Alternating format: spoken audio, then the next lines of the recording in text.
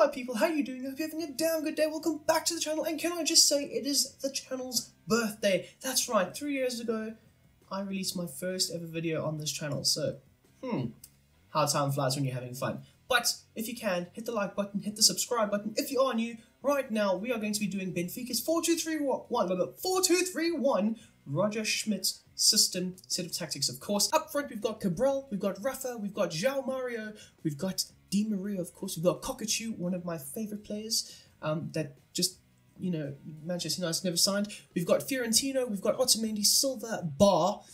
We've got um, Aursnes, I think that's how you pronounce it. We've got Vlachodimos, we've got Musa, Neres, another really one of my all-time favorite FIFA players to use. Um, we've got Chiquinho, we've got Neves, we've got Trubin, a new signing, of course. We've got Gilberto, uh, Morata. We've got a few other players here on the bench as well, but it's a very thin squad.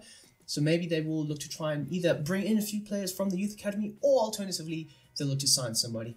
Um, but as you can see right over here, we have got the current set of um, or the current formation. It is set to a 4-2-3-1 narrow. Of course, you're playing with one goalkeeper, two centre backs, two full backs, two centre defensive midfielders, three cams, and of course one striker. Benfica's tactical approach revolves around a dynamic and strategic blend of defensive and offensive tactics, meticulously designed to control the game and capitalize on opportunities. In defense, Benfica employs a press after loss of possession style, ensuring a swift and aggressive response to regaining the ball. This system seamlessly transitions from attack to defense, allowing for effective counter-pressing to disrupt the opposition's build-up play and regain control. The defensive setup prioritizes narrowing the field with a width of around 40, compelling opponents to navigate through congested central areas. This strategy aims to force the opposition to play the ball through Benfica's well prepared midfield duo of Kökçü and Florentino, who are well adapted at intercepting passes and breaking up opposition attacks. With a depth of 60, the team maintains a medium block, denying space behind the defensive line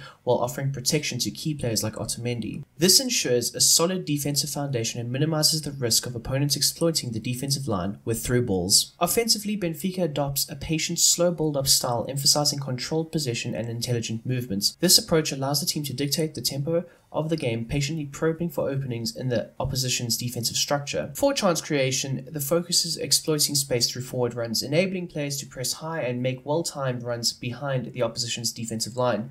This stretches the defense and creates opportunities for penetrating passes and crosses from the flanks. A width setting of 70 is employed to provide ample space for fullbacks to operate in in the wide advanced areas. This widens the field, stretches the opposition's defensive shape, and creates gaps for both the overlapping fullbacks and the forward line to exploit. Players in the box is set to 8, and this maximizes the chances of converting crosses and capitalizing on offensive situations. This suits the high volume of crosses played from the fullbacks and adds a significant aerial threat. In set piece situations, the team maintains a balanced approach with the setting set to 4 for both corners and free kicks, ensuring a solid defensive setup while posing an offensive threat from dead ball situations. So for the goalkeeper Vlachodimos, of course you're not going to be playing a very high line or anything like that, so he's not going to really be set to be the sweeper keeper or anything like that, and of course he is looking to, to leave Benfica. So we'll see how that pans out, to be honest. But more importantly, his instructions are set to come for crosses. He's going to be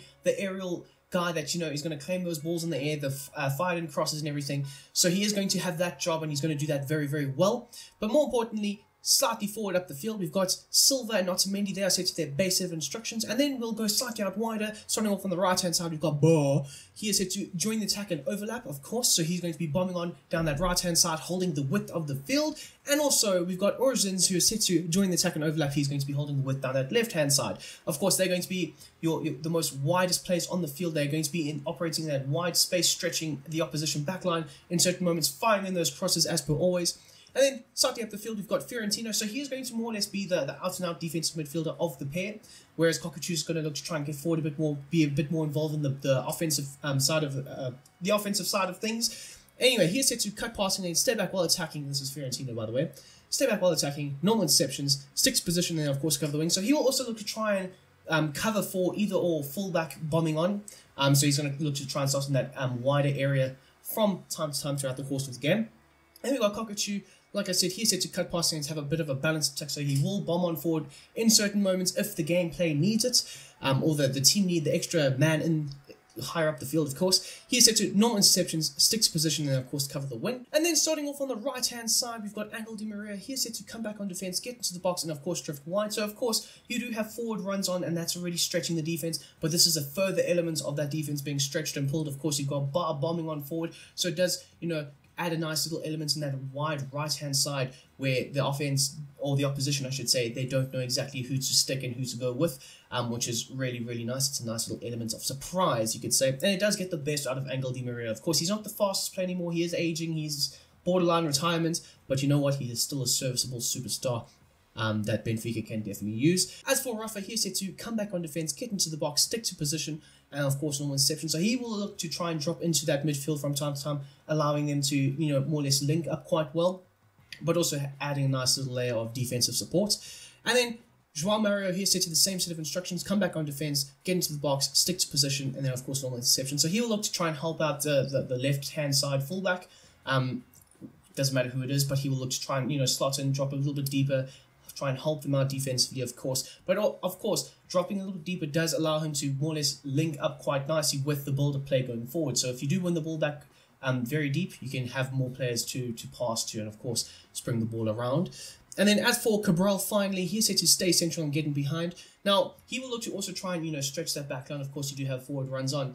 But he's going to look to more or less stay in the centre, hang on the, the shoulder of the opposition, and then make his charging runs forward. And then he will sometimes look to more or less stay forward, but also he can look to drop a bit deeper if it, it is needed or required, of course. And then finally, we have a bit more of a defensive system in place here. It's the, the same 4-2-3-1 narrow shape, but with the tactics and everything, it does change slightly. Of course, it is still set to a press after possession loss, but this time the width is, is set to a very, very narrow width, so you are going to try and force the opposition to try and cross the ball in a lot more. As for the depth, it's set to 35, which means that you want all of your players behind the ball, defending the goal, of course. Now, when you're uh, up against the likes of a, a super strong team, maybe in the Champions League, of course, and you are under the cosh a little bit, you do want to try and implement this, and it does more or less look to try and implement a counter-attacking uh, type of uh, football. Um, as for the offensive builder play, it's set to slow and forward runs as the normal one is as well. But then there's a few little tweaks. The, the width is also set to 70. Players in the box though, it's less. Of course, it will be Cabral and either Rafa or Di Maria. Of course, that will be making the secondary man run into the box. But you're not going to try and overcommit too many players. And then, of course, corners and free kicks is set to 4. So as for the instructions, everybody is set to the same set of instructions as the previous um, or main set of instructions, I should say, except for the likes of Cabral. He's said to have a bit more of a balance width, so he will look to run the channels a little bit more, um, not have that focal central point locked down as much. He is also still set to getting behind, but more importantly, he is set to come back on defense. So, like I say, you want every man behind the ball when defending um, either the lead or the points or the goal or whatever. You, you're wanting a lot of players back helping defend. And there you have it, the 4-2-3-1 Benfica Roger Schmidt system set of tactics, of course. Um, I hope you've enjoyed this video. If you have, hit that like button down below. Subscribe if you are new. Most importantly, I hope you guys have a damn great day. I'm out.